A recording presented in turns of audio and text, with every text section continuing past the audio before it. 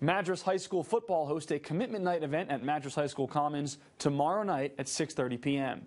Any 8th graders going into Madras High School next year and playing football must be at this event.